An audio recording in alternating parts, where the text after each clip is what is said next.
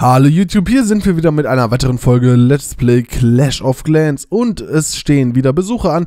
Nachdem ich es letztes Wochenende irgendwie nicht hingekriegt habe, werde ich es versuchen, dieses Wochenende drei Folgen zu machen, so wie früher auch schon mal und äh, das dann so als kleinen Ersatz fürs letzte Wochenende. Also heute am Freitag kommt eine, ähm, ich denke dann Sonntag und Montag Samstag wisst ihr, steht immer ein bisschen was anderes an Fußball aktuell noch und zwar dieses Mal sogar DFB-Pokalfinale und das geht nun mal vor. Und ähm, dann gucken wir uns doch mal an, wer so dabei ist heute. Wenn ihr heute nicht dabei seid, dann ähm, schreibt mir einen Kommentar mit eurem Clan-Kürzel, Clan-Namen und eurem Namen und dann müsst ihr natürlich auch noch da sein und dann seid ihr vielleicht beim nächsten Mal dabei. Wir fangen an mit die Saubazis und da Alpa, Alpa, Alpa. Alpa, Alpa, Alpa. Na, komm, wo bist du? Nein, nicht. Nein, nicht Alpa. Das war der falsche Clan. Wir suchen einen Ricci. Ricci, Ricci. Ricci, Rich. Na? Da. Vizeanführer Level 111, Rathaus 9 check, passt. Fast so ein hohes Level wie ich und noch Rathaus 9 sieht schon alleine immer gut aus. Ähm, du hast alles von Rathaus 8 hochgelevelt, außer die Valkyrie, die eh egal ist. Und die Schweine, ja, das finde ich nicht mehr ganz so egal. Mittlerweile denke ich, sind Schweine doch eine sehr starke Armee. Ähm, ansonsten von Rathaus 9 auch schon einiges gelevelt. Hexe, Golem, Lavahund. Der Sprungzauber fehlt noch. Die Zauber, anderen Zauber sind allerdings gemaxt. 540 Millionen gefahren ist gut. Mm, sogar sehr gut. 67.000 gespendet ist auch sehr stark.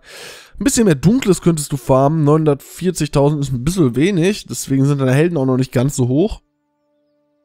Und Clan kriegt 280 Sterne. Ist auch, denke ich, okay.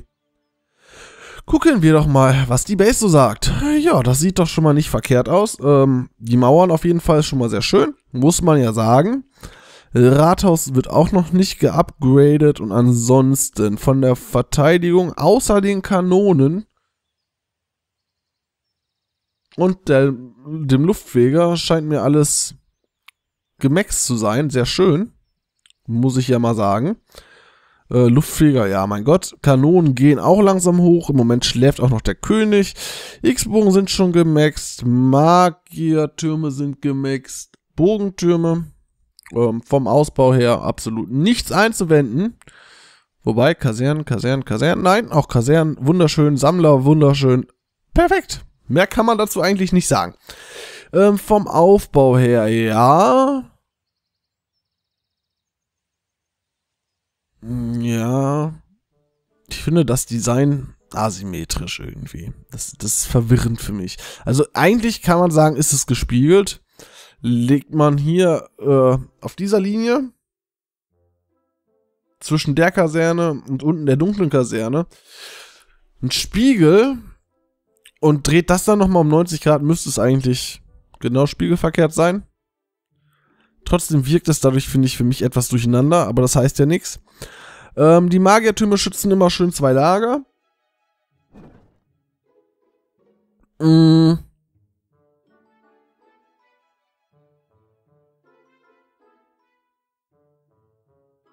Die Mörser stehen mir ein bisschen weit auseinander. Das geht vielleicht ein bisschen besser. Also die könnten ein bisschen näher zusammen. Und ähm, das eine Elixierlager hier, das und hier das, die scheinen mir nicht ganz so gut geschützt zu sein. Dafür ist allerdings die Queen schön mittig, ebenso wie die Clanburg. Und die X-Bögen, finde ich, stehen auch sehr schön. Ja, also wie gesagt, ich würde da nur einen kleinen Abzug vielleicht für die Mörser geben, die ein bisschen weit auseinander stehen und diese Elixierlager, wobei du im Moment sowieso kaum Elixier drin hast, ähm, geht wahrscheinlich immer direkt für Mauern drauf, was auch gut so ist und das sieht man halt auch an den Mauern. Die sind ja schon wirklich stark. Neuner und schon Zehner Mauern und du upgradest dein Rathaus noch nicht, also hast du auch noch genug Zeit, deine Mauern weiterzumachen. Ich wundere mich gerade, dass der Luftfeger nicht im Ausbau ist. Wobei, zwei Kanonen sind im Ausbau. Der König. Wie viele Bauhütten hast du denn? Eins, zwei, drei, vier. Ich sehe, ne, fünf. Okay, zwei schlafen nicht. Könntest du ja eigentlich noch ein Gebäude schlafen schicken. Vielleicht wurde auch gerade was fertig. Aber ansonsten wirklich sehr schönes Dorf. Und ich gebe dir an der Stelle eine 9 für dein Dorf. Und ich denke, damit kann man absolut leben. So, dann haben wir als nächstes den guten Herrn, den ich gerade schon gesucht hätte, den Alpa Abimofo. Neu, das heißt, du warst draußen, hatte ich ja Glück, dass ich dich jetzt erwischt habe. Level 105, Rathaus 9 Check. Mm, kleinen Abzug muss ich dir schon mal für die Schweine geben, die erst auf Level 1 sind. Ansonsten der Golem auch auf Level 1. Böser, böser Junge. Hatte ich dich schon mal? Ich weiß es nicht. Oder wiederhole ich mich nur ab und zu. Deine dunklen Truppen könnten besser sein, mein Freund. Auch wenn du natürlich die Lava-Hunde gelevelt hast, aber jetzt mit dem Luftfeger-Update ist das ja auch nicht mehr bei jeder Base so einfach. Würde ich an deiner Stelle ein bisschen was nachholen. 500 Millionen Gold gefarmt ist aber gut. Eine Million Dunkles ist okay, ja, geht vielleicht ein bisschen mehr zu dem Zeitpunkt, aber das sieht man ja auch an deinen Truppen, dass da noch ein bisschen was möglich ist. Mm, und noch drei Sterne, dann hast du Kriegsheld, Glückwunsch. Dauert ja nicht mehr lange, hast du ja bald. Und äh, gucken wir uns das Dorf mal an. Da wurde wohl jemand äh, geblitzt. Mein Beileid, mein Freund. Nicht schön, ich weiß. Kann man nichts gegen tun. Hast du denn dein Tesla am Rathaus? Eher nicht, wahr? Würde ich nicht von ausgehen bei dem Design. Hm. Was natürlich auffällt, deine Mauern sind noch ein bisschen low, wobei du auch, ja, na, ein frischer Rathaus noch, bist du lange nicht mehr. Du hast deine X-Bögen schon auf Level 3, deine Magiertürme sind gemaxt, deine Mörser sind gemaxt, Kanonen und Bogitürme noch nicht, aber die erste Kanone geht auch schon hoch. Ähm, deswegen, ja, Mauern sind okay, keine Frage. Sind Rathaus 8 Max, auch keine Frage. Ähm, könnten natürlich aber zu dem Zeitpunkt jetzt deines Dorfes vielleicht ein bisschen höher sein. Was ansonsten auffällt, deine Sammler und Mine gehen auch noch ein bisschen hoch. Die sind noch nicht Rathaus no 8 maxed. Mhm, ansonsten gibt's nicht wirklich was zu beanstanden. Luftfeger Level 2, ja, ist ja ein neues Defensivgebäude, das ist ja egal. Das zählt nicht im Design. Mhm, Rathaus 9 steht da. Ja. Ähm, die Mörser scheinen mir, obwohl. Ne, die Mörser stehen perfekt. Eigentlich. Immer schön drei geschützt, so muss das sein. Gefällt mir gut. Die Magiertürme stehen eigentlich auch perfekt. Schützen immer schön zwei Lager. Und die Lager stehen auch nicht direkt nebeneinander. Das gefällt mir auch sehr gut immer. Ähm, in unterschiedlichen Kacheln, die zu einem Magierturm gehörenden und die, die dann trotzdem in einer Kachel stehen. Da steht dann noch ein Verteidigungsgebäude dazwischen. Finde ich sehr schön. Dunkle steht schon mittig, wobei die Clanburg eigentlich noch mittiger stehen könnte, wenn man die tauscht. X-Bögen stehen gut, äh, die Queen steht schon relativ mittig, finde ich gut. Der König könnte vielleicht ein bisschen mehr in die Mitte, aber da ist kein Platz mehr. Ich glaube, das Design hatten wir auch schon ein paar Mal. Und ich glaube, ich wiederhole mich da auch jedes Mal bei der Bewertung. Sieht auf jeden Fall sehr nice aus. Kann man nicht sagen. Irgendwie, ihr seid wieder so gut alle ausgebaut. Ich suche Kritikpunkte, aber ich finde keine. Ja, machen wir es kurz. Du bist noch nicht ganz gemaxt. Vom Design her gefällt es mir sehr, sehr gut. Deswegen gibt es von mir eine 9. Ich denke, damit kann man leben. Wobei, nein, eine 8,5. Den Abzug gebe ich dir für Golem und Schweine. Böser Junge, du. Musst deine dunklen Truppen etwas leveln. Aber ansonsten wirklich sehr schön. So, wer kommt denn als nächstes? Nein, nicht aus dem GF Comment. Aus meinem Basisclan German Fighters dieses Mal jemand. Hm, hat sich auch mehrfach beworben. That's not real. Rathaus Level 9. Mm, 10er Helden, ja. Die gehen aber auf 11, soweit ich weiß. Äh, ansonsten von den Achtertruppen alles gelevelt. Sogar die Valkyrie ist auf Level 2. Dafür einen ganz fetten Applaus. Also ich habe mein iPad jetzt in der Hand, da gibt's keinen Applaus. Denk in dir einfach. Ähm, Golem schon auf 3. Scheint es mir noch nicht ganz so lange, Rathaus 9 zu sein. Spielt schon ein bisschen länger. 1200 Gegenstände. Mehr als ich es, glaube ich, habe. Ich bin mir nicht sicher. 370 Millionen entfer äh, entferntes Gold. Ja, genau. Gelootetes Gold. Erbeutetes Gold sind gut. Hm, ein bisschen mehr spenden könntest du, mein Freund. Wobei diese Saison ja gut ist. Boom Beach nervt nicht. Ich wusste es vorher, dass das kommt. Hast dich immerhin schon gegen 332 Angriffe verteidigt. Deutlich mehr als ich.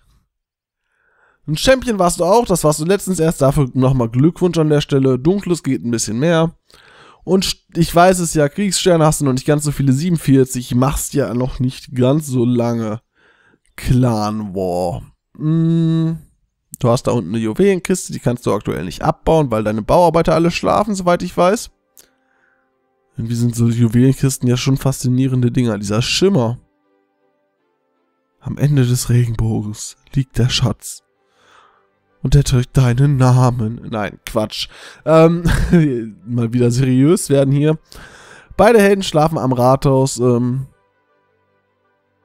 ist das nicht genau das gleiche Design, was wir gerade hatten? Oder sehr, sehr ähnlich? Zumindest diese, diese gezackten Mauern an den Seiten erinnern mich stark daran. Du hast scheinbar alle. Nein, nein, nein, nein, du hast noch nicht alle Neuner Mauern, aber schon einen großen Teil. Dafür schon mal Daumen nach oben.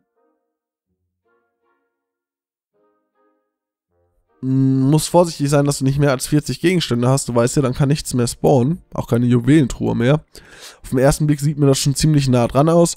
Ähm, deine X-Bögen gehen beide hoch auf Level 2. Das ist schön. Ansonsten scheinst du mir ein Rathaus 8 gemaxtes Dorf zu sein. Auch mit den neuen Gebäuden schon, Gebäuden schon auf Rathaus 8. Die Bohrer sind schon auf 6. Ansonsten allerdings noch nichts Rathaus 9 Niveau, aber das ist ja nicht schlimm wenn ich das richtig im Kopf habe, musstest du doch ein bisschen was nachholen bei Rathaus 9. Von daher äh, schön, dass du es gemacht hast und auch immer noch machst.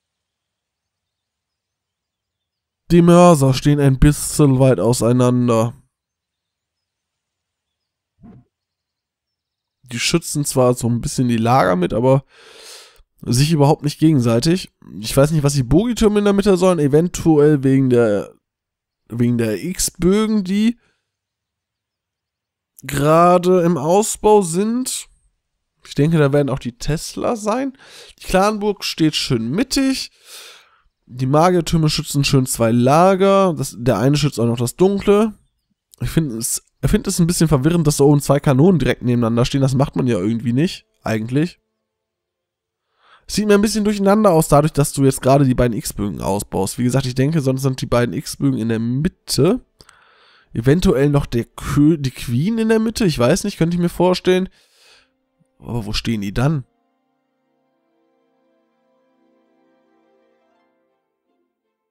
Die Helden könnten natürlich auch vor so einem vor so einem Bogiturm stehen, oder? Nee. 3x3 sind sie. Hm, das Dorf ist verwirrend für mich. Das ist verwirrend für den kleinen Lars. Also, ich weiß nicht. Ähm, vom Ausbau her, wie gesagt, keine Vorwürfe, volle Lage, alles wunderbar. Gibt auf jeden Fall einen Applaus dafür.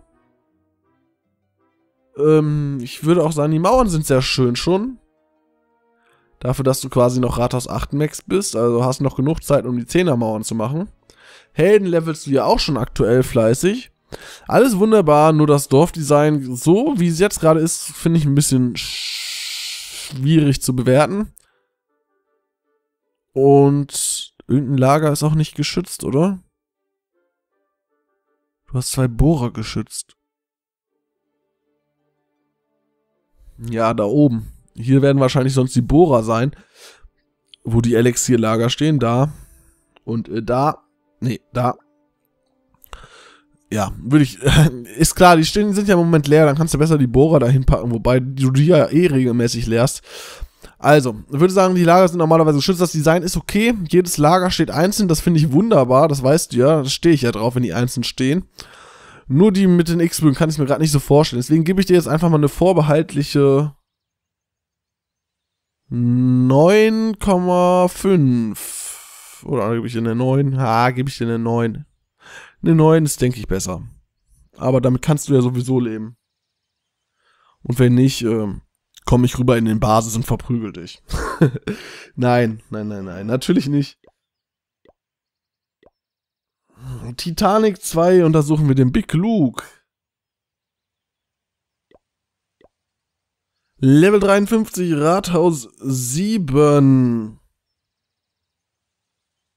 Hm.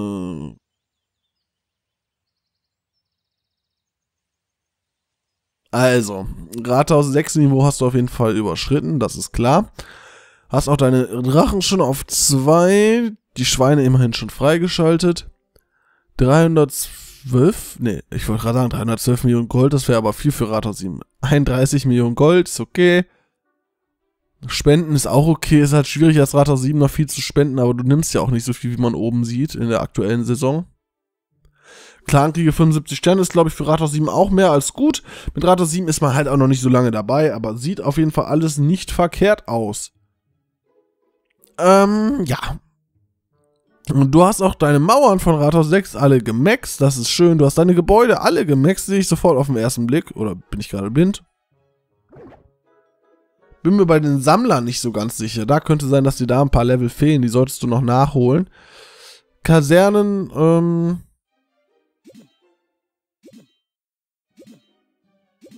solltest du auch nachholen, mein Freund. Da geht mit Sicherheit auch standardmäßig ein bisschen mehr, als gerade ist bei dir. Äh, ansonsten vom Ausbau her scheint mir das echt gut. Das sind relativ unwichtige Sachen. Wie gesagt, Mauern sind dafür schon ganz gut. Der König könnte vielleicht ein bisschen hoch. Das Dunkle dafür, ich weiß gar nicht, wie viel kostet der denn? 12.500? Ich glaube ja.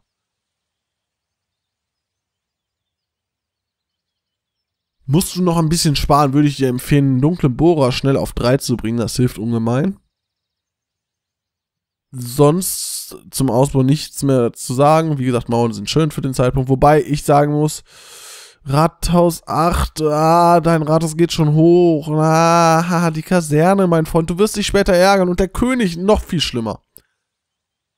Der König muss gemaxt werden bei Rathaus 7 und 8. Bei 9 am besten auch, aber bei 7 und 8 muss er gemaxt werden. Du merkst den Unterschied von den Einheiten, äh, von, den, von der Spezialfähigkeit und dass du bei 7, du hast, hättest jetzt schon Spezialfähigkeit 1 haben können, du hast jetzt gar keine, würde ich an deiner Stelle dringend nachholen. Also schnell, sehr, sehr schnell den Leveln. Und äh, dann natürlich auch zusehen, dass du die Mauern noch schnell nachgezogen kriegst. Ansonsten vom Design her finde ich nicht so schön, dass die Magertürme so weit draußen stehen das Elixier gar nicht schützen. Vor allem das Gold zwar theoretisch schützen, praktisch aber nicht. Dein ein, du hast ein Goldlager und eine Gold ähm, und ein Elixierlager noch nicht ausgebaut, mein Freund. Musst du auch noch nachholen.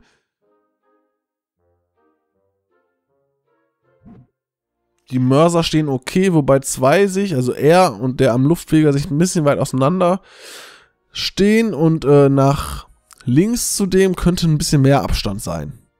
Schwierig zu beschreiben. Es ist äh, am besten so ein bestimmtes Dreieck. Das ist zwar jetzt auch ein Dreieck natürlich, wenn man die Linie zieht, aber nicht so eins, wie wir brauchen. Wir bräuchten ein etwas näher zusammengezogenes, weiter auseinander. Ist schwierig zu beschreiben. Ich denke, du hast schon ein paar Mal vielleicht bei meinen Bewertungen gesehen, wie ich das meine. Der muss nach rechts oben und der obere dann einfach nur nach rechts, dann passt es. Ansonsten ist es halt bei Rathaus 7 schwierig. Du wirst sowieso von Rathaus 8ern und 9ern zerstört, wobei von 9ern eher selten, die wollen mehr Loot. Mm, der Luftfeger steht, denke ich, okay, die Luftabwehren stehen mir ein bisschen weit zu außen, die sind ja ganz leicht zerstörbar. Ansonsten gefällt es mir aber echt gut mit den Freiräumen, die überall sind. Und deswegen gebe ich dir an der Stelle eine 7. Du musst halt noch ein bisschen was nachholen, das weißt du ja. Habe ich dir jetzt auch nochmal gesagt. So, und dann kommen wir zum letzten im Bunde. Quantanamera. Da, da, da, da, da, da, da. Untersuchen wir den Se Marius. Level 88.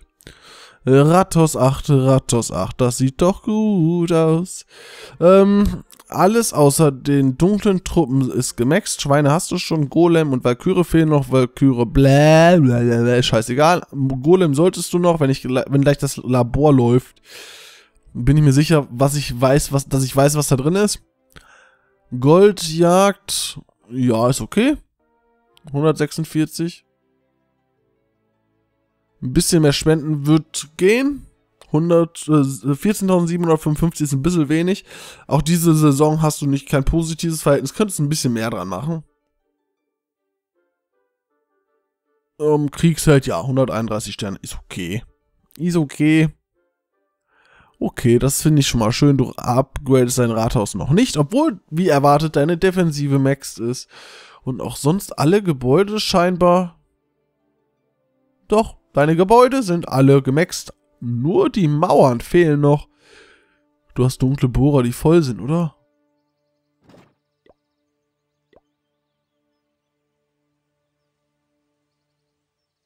Mehr als halb voll, sagen wir es mal so. Hm. Ja, was soll ich denn dazu groß sagen zum Ausbau? Also zum Ausbau wirklich außer den Mauern, die du aber noch machst, du upgradest ja nicht mal dein Rathaus. Labor läuft auch, wahrscheinlich der Golem, gehe ich einfach mal von aus. Ich denke nicht, dass die Valkyrie forscht. Ich glaube, ich habe noch niemanden gesehen, der zuerst die Valkyrie forscht und dann den Golem. Kenne ich keinen, glaube ich. Ähm, vom Design her, die Magetürme schützen sehr schön die Lager, außer das eine Elixierlager. Das, außer, ja doch, das eine Elixierlager. Das ist nicht perfekt geschützt. Vom Gefühl haben wir diese Art von Design schon ein paar Mal gehabt. Nicht so genauso, aber ähnlich, wo ein Lager nicht so geschützt wird, was aber nicht ganz so tragisch ist. Die Mörser stehen, finde ich, sehr, sehr schön. Schützen sich immer im Dreieck. Auch wenn die einen ein bisschen weiter auseinander stehen, ist ja nicht so schlimm. Ähm, Dunkle steht schön mittig, allerdings Deine Clanburg steht draußen. Da gehört sie nicht hin. Da gehört sie nicht hin. In dem Design ist aber. Huch.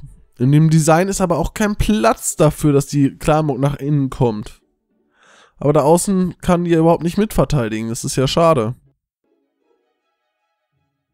Das ist schade. Die muss auf jeden Fall in die Mitte.